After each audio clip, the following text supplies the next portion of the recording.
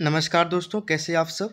तो दोस्तों, आज किस वीडियो में हम डिस्कस करने वाले हैं हिमाचल प्रदेश यूनिवर्सिटी के द्वारा जो आज यानी सताईस मई 2022 को बीएड एंट्रांस का जो एग्ज़ाम कंडक्ट करवाया गया था, इसको हम सॉल्व करने वाले हैं। तो मैं आपको सबसे पहले बता दूँ कि हिमाचल प्रदेश में टोटल मिला के दो एक सरकारी कॉलेज है बी के, ठीक है? एक तो आपका यूनिवर्सिटी है, हिमाचल प्रदेश यूनिवर्सिटी यहाँ पर सरकारी बी होता है, और इसके साथ साथ एक सेंट्रल यूनिवर्सिटी धर्मशाला से भी आपका सरकारी बी होता है।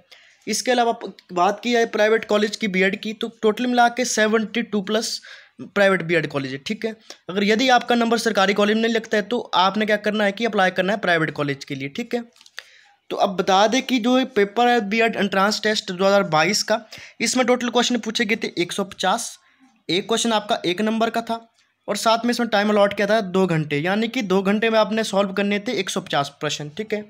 इसमें सबसे ज़्यादा प्रश्न पूछे गए थे टीचिंग एप्टीट्यूड पैडागोगी के, ठीक है? यानी कि इसमें टोटल मिला के जो आप साइकोलॉजी उसके टोटल क्वेश्चन चालीस पूछे गए थे। इसके अलावा जो एक नेशनल जो आपका स्कीम रहती है, ठीक है?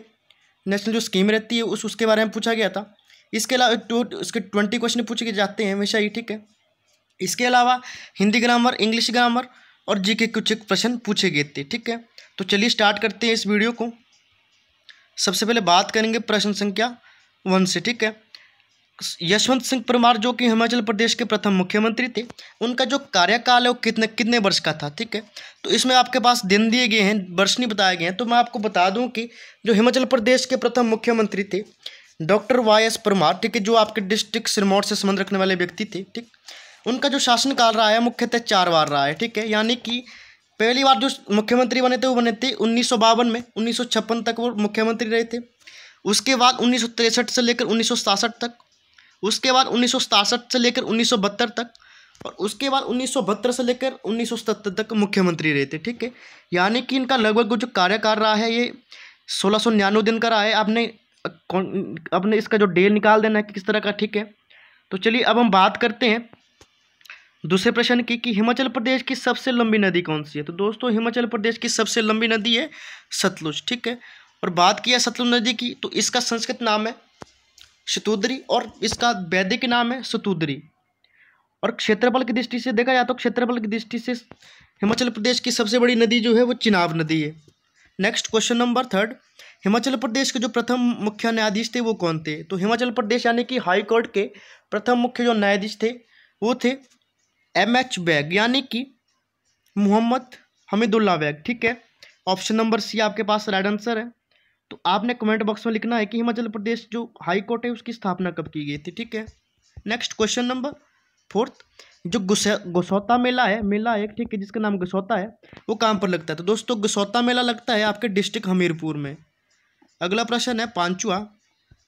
गौरी देवी का जो टिब्बा है, ठीक है, गौरी देवी का टिब्बा एक चोटी है, वो हिमाचल प्रदेश के किस ज़िले में स्थित है? तो दोस्तों, ये स्थित है डिस्ट्रिक्ट चंबा में, यानी कि ऑप्शन नंबर सी आपके पास सही उत्तर रहने वाला है। इसके अतिरिक्त आपको बता दूँ कि जितने भी आपके एक चोटी है, टिब्बा नाम से, वो डिस्ट्रिक्ट चंबा में ही पाई जाती है, ठीक है? नेक्स्ट क्वेश्चन नंबर सिक्स छठा प्रश्न ये पूछ रहा है कि गुलेर राज्यों की स्थापना किसने की थी? तो दोस्तों, गुलेर राज्यों की स्थापना की थी हरिचंद ने। यानी कि ऑप्शन नंबर डी आपके पास सही उत्तर है। क्वेश्चन नंबर सातवां. निम्न में से किस स्थान पर रविंद्रनाथ टैगोर जी हिमाचल प्रदेश में कुछ महीने बताए थे, ठीक है? तो रविंद्रनाथ टैगोर जी हिमाचल प्रदेश आए थे और उनने कुछ एक महीने बताए थे। डिस्ट्रिक्ट जो चंबा है, उसके डलहौजी में, ठीक है? यानी कि ऑप्शन नंबर डी आपके पास सही उत्तर है। इसके जो आपके रविंद्रनाथ टैगोर जी थे, ठीक है? तो उनके साथ कुछ एक व्यक्ति और भी आए थे। कमेंट बॉक्स में आपने बताना कि उनके साथ कुछ एक व्यक्ति और कौन आए थे हिमाचल प्रदेश और वो डलहौजी में ठहरे थे, ठीक है? और कमेंट बॉक्स में साथ में लिखना है कि हिमाचल प्रदेश में रविंद्रनाथ टैगोर जी कब आए थे, ठीक है? नेक्स्ट क्वेश्चन नंबर आठवां।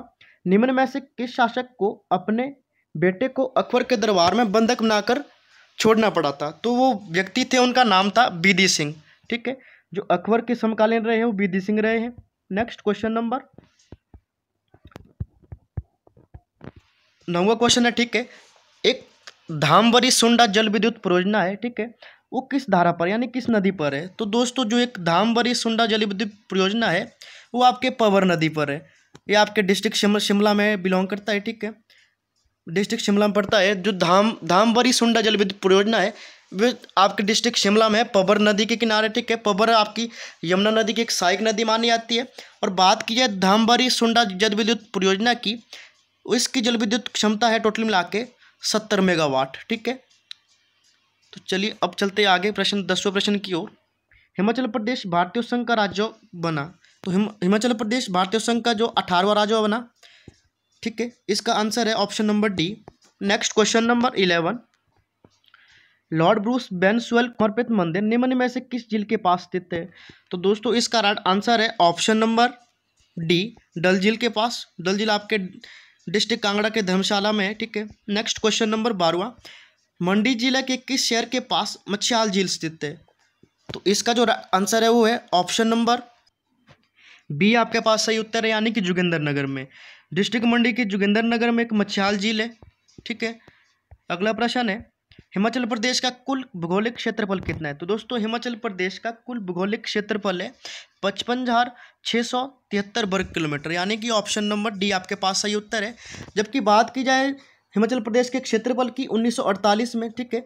उन्नीस सौ अड़तालीस के बीच में लगभग हिमाचल प्रदेश का कुल क्षेत्रफल था सताईस हज़ार वर्ग किलोमीटर ठीक है? जैसे जैसे इसमें कुछ एक ज़िले ऐड करते गए ठीक है? तो जैसे इसमें कुछ एक ज़िले ऐड होते गए उसके बा, बाद इसका कुल क्षेत्रफल बन गया पचपन हज़ार छः सौ तिहत्तर वर्ग किलोमीटर ठीक है? और जबकि बात की जाए हिमाचल प्रदेश के जो जनसंख्या की हिमाचल प्रदेश की कुल जनसंख्या है अठासठ लाख प्लस ठीक है? अब जाके थोड़ा कुछ बढ़ गया होगी ठीक है? Next question number fourteen. Chamba राजा के पूरा विशेषों का लेखक किसे माना जाता है? तो दोस्तों वो है जेपी भोगल, ठीक है? यानी कि ऑप्शन नंबर ए आपके पास सही उत्तर है। नेक्स्ट क्वेश्चन नंबर पंद्रवा। हिमाचल प्रदेश का राज्य वृक्ष कौन सा है? तो हिमाचल प्रदेश का राज्य वृक्ष है देवदार, यानी कि सीड्रस देवदार। ऑप्शन नंबर सी आपके पास सही उत्तर है। नेक्स्ट क्वेश्चन नंबर सिक्सटीन, भारतीय क्रांति की जननी के रूप में किसे माना जाता है? तो भारतीय क्रांति की जो जननी के रूप में माना जाता है, मैडम बिकाजी कामा को ऑप्शन नंबर बी आपके पास सही उत्तर है। नेक्स्ट क्वेश्चन नंबर सतारवा निम्न में से किस फ़सल को रोपण फ़सल के रूप में माना जाता है? तो दोस्तों, गन्ना फ़सल को एक रोपण फ़सल के रूप में माना जाता है, यानी कि ऑप्शन नंबर सी आपके पास सही उत्तर है। नेक्स्ट क्वेश्चन नंबर अठारहवा हाल ही में केंद्र सरकार के द्वारा शुभारंभ की गई पुस्तक द इंडिया स्टोरी किस क्षेत्र से संबंधित मानी जाती है? तो दोस्तों, ये संबंधित मानी जाती है नवीकरण ऊर्जा से, ठीक है? यानी कि ऑप्शन नंबर ए आपके पास सही उत्तर है क्वेश्चन नंबर अठारह का। नेक्स्ट क्वेश्चन नंबर उन्नीस। खाड़ी क्षेत्र में भारतीय जहाज़ों की सुरक्षा के लिए भारतीय नौसेना के द्वारा शुरू किए गए ऑपरेशन का नाम क्या था तो उस ऑपरेशन का नाम था ऑपरेशन संकल्प। ऑप्शन नंबर बी आपके पास सही उत्तर है। नेक्स्ट क्वेश्चन नंबर ट्वेंटी विधानसभा का सत्रावासन का क्या अर्थ है? तो इन चार ऑप्शन में से विधानसभा जो सत्रावासन है, उसका जो अर्थ है, वो है दोस्तों, विधानसभा को भंग किए गए बिना ही बंद कर देना, ठीक है? यानी कि ऑप्शन नंबर ए आपके पास सही उत्तर है। Next question number twenty one निम्नलिखित में से कौन सा उत्तक है? तो दोस्तों, रक्त आपके पास एक उत्तक है, यानी कि blood next question number twenty two ब्रह्मांड में पदार्थ का सबसे प्रचुर रूप कौन सा है? तो ब्रह्मांड में पदार्थ का सबसे प्रचुर रूप है गैस, यानी कि ऑप्शन नंबर सी आपके पास सही उत्तर है। इसमें थोड़ा सा डाउट है, आपने चेक कर लेना है, ठीक है? Next question number twenty three PM गति क्षति राष्ट्रीय मास्टर प्लान का मुख्य उद्देश्य क्या है? क्वेश्चन नंबर ट्वेंटी थ्री का राइट आंसर है option number B infrastructure development ठीक है? यानी कि जो पीएम गति क्षति राष्ट्रीय मास्टर प्लान है, ठीक? एन एम पी उसका मुख्य उद्देश्य है इंफ्रास्ट्रक्चर डेवलपमेंट करना, ठीक है? ऑप्शन नंबर बी आपके पास सही उत्तर है। Next question number twenty four भारतीय सांस्कृतिक संबंध परिषद यानी कि आईसीसीआर किस केंद्रीय मंत्रालयों के तहत कार्य करता है? तो यह संस्कृति मंत्रालय के अंतर्गत कार्य करता है, यानी कि ऑप्शन नंबर ए आपके पास सही उत्तर है। अगला प्रश्न है क्वेश्चन नंबर पच्चीसवा. बी सी रॉय पुरस्कार किस क्षेत्र में दिया जाता है? तो दोस्तों, जो बी सी रॉय पुरस्कार है, वो मुख्यतः दिया जाता है मेडिसिन के क्षेत्र में, यानी कि चिकित्सा के क्षेत्र में। ऑप्शन नंबर सी आपके पास सही उत्तर है। Next question number twenty six digital संचार योग, यानी कि डीसीसी किस मंत्रालय के तत्वाधान में एक शीर्ष निकाय है? तो जो, ये जो आपका डीसीसी है, ये आपके संचार मंत्रालय के अंतर्गत आता है, यानी कि ऑप्शन नंबर सी बी आपके पास सही उत्तर है। संचार मंत्रालय। Next question number twenty seven वैश्विक सिंथेटिक हीरे के निर्यात में, यानी कि वैश्विक सिंथेटिक जो कृत्रिम हीरा है, उसके निर्यात में भारत का कितना स्थान है? तो भारत का इसमें स्थान है तीसरा, ठीक? Next question number twenty eight question number twenty eight पूछ रहा है कि सूर्य के चारों ओर सर्वाधिक गति से चक्कर लगाने वाला ग्रह कौन सा है? दोस्तों, सूर्य के चारों ओर सबसे तेज गति से कौन चक्कर लगाता है? तो दोस्तों, उसका नाम है बुध ग्रह, ठीक है? जो सूर्य के सबसे नज़दीक वाला ग्रह है, जबकि बात किया शुक्र ग्रह की, शुक्र ग्रह पृथ्वी के सबसे नज़दीक पाया जाता है। और सबसे बड़ा ग्रह माना जाता है बृहस्पति को। मंगल की बात किया तो मंगल ग्रह का नाम है लाल ग्रह, ठीक? Next question number twenty nine एक प्रसिद्ध पुस्तक है, जिसका नाम है the making of India. The making of India के पुस्तक के लेखक माने जाते हैं अमर्त्य सेन, ठीक है? जो अर्थशास्त्र से संबंधित है।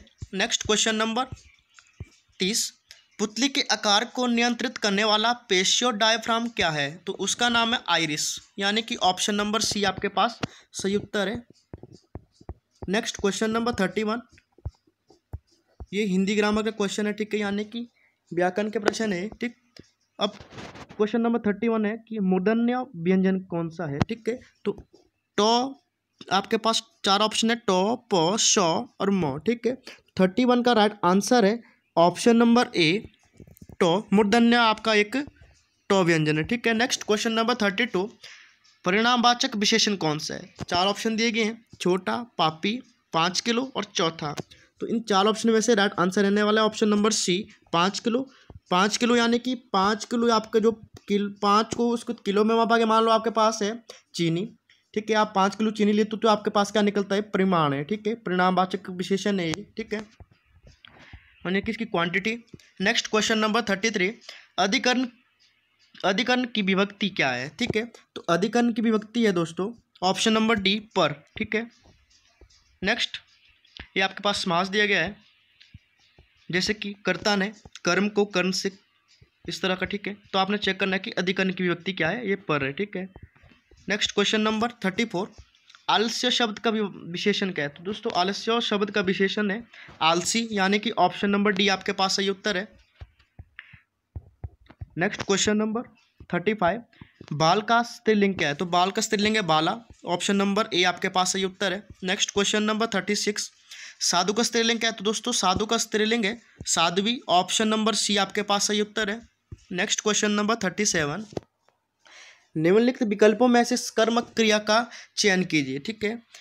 कर्मक क्रिया एक ऐसी क्रिया है जिस, जिसमें जो आपका जो फल होता है वो किस पे पड़ता है? कर्म पर पड़ता है, ठीक है? ऑप्शन नंबर आपके पास सी, सही उत्तर है, ठीक है? यदि किसी व्यक्ति को तटवा रहे हो, दूसरे पर इसका कर्म पड़ रहा है, ठीक है?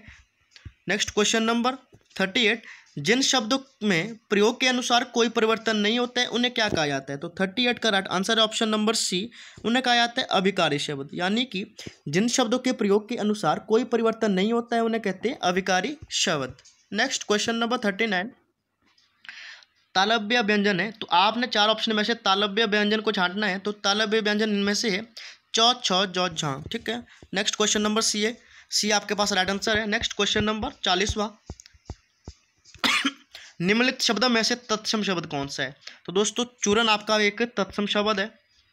Next question number forty one हास्यास्पद का संधि विच्छेद क्या होगा? तो दोस्तों, हास्य जो स्पद है, हास्यास्पद है, दो शब्दों से मिलकर बना है। हास्य प्लस आस्पद ऑप्शन नंबर सी आपके पास सही उत्तर है। Next question number forty two सुधा प्लस अंशु आपका बनता है सुधांशु, इसका उदाहरण क्या होगा? ठीक है तो जो आपका सुधांशु है, ये कौन सी संधि है? गुण संधि है, दीर्घ संधि है, अयादि संधि है या वृद्धि संधि है? तो दोस्तों, सुधांशु आपका एक दीर्घ संधि है, क्योंकि जो सुधांशु दो शब्द से मिलकर बना है, सुधा प्लस आंशु सुधा के लास्ट में आपका आ, ठीक है, और जो आपका अंशु के प्लस में अंशु को स्टार्टिंग में जो ओ है, ठीक है, ये रूल के हिसाब से देखा जाए तो यदि किसी किसी जो आपका शब्द है, उसके लास्ट में आ हो, ठीक है, और दूसरे शब्द के फ़र्स्ट में ओ हो तो वो आपका एक दीर्घ संधि के अंतर्गत आता है, ठीक है? Next question number forty three मिलावट में प्रयुक्त प्रत्यय कौन सा है? तो दोस्तों, मिलावट में जो प्रत्यय प्रयोग किया गया है, वो है आवट, यानी कि ऑप्शन नंबर बी आपके पास सही उत्तर है। मिलावट दो शब्दों से मिलकर बना है। मिल प्लस आवट, ठीक है? Next question number forty four एक प्रत्यय जोड़कर बनाया गया शब्द कौन सा है? तो दोस्तों, दैनिक शब्द एक शब्द से बनाकर बनाया गया है। दैन प्लस एक, ठीक है? Next question number forty five. Dubal शब्द को छांटना है, ठीक है? फोर्टी फाइव फाइव का राइट आंसर है ऑप्शन नंबर बी दुबल शब्द में आपका उपसर्ग है दू, ठीक है? जो आपका दुबला दो शब्द से मिलकर बना है, दू उपसर्ग प्लस बला। Next question number forty six से लेकर फिफ्टी तक आपके पास क्या करना है? आपके पास एक पैरा दिया गया है, पैराग्राफ दिया गया है, निम्न को ध्यानपूर्वक पढ़ें और प्रश्नों का उत्तर दीजिए। इस पैराग्राफ को आपने पढ़ना है, ठीक है?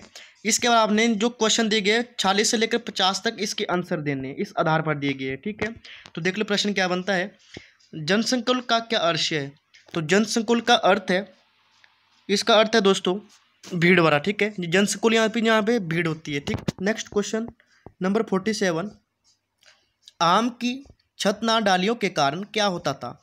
फोर्टी सेवन का right answer option number C यात्रियों की थकान मिटती थी, ठीक है? Next question number forty eight शाकाहीन, रसहीन और शुष्क वृक्ष को क्या कहा जाता है?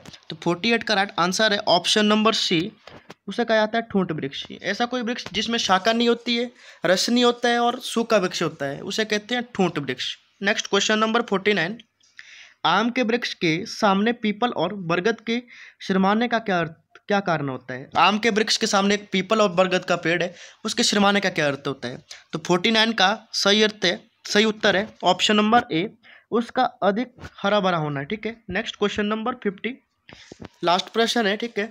ये आपका एक हिंदी व्याकरण का है। नेक्स्ट क्वेश्चन नंबर पचास क्या पूछ रहा है, देख लो।